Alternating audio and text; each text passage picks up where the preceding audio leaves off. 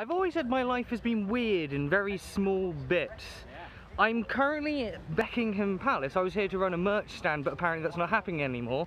And now I'm just surrounded by supercars, German helicopters, and a nuclear warhead from the Cuban Missile Crisis. Joe, what life do you lead? Why, why? This isn't even a life, this is just... What the fuck? Why is there a warhead here? What?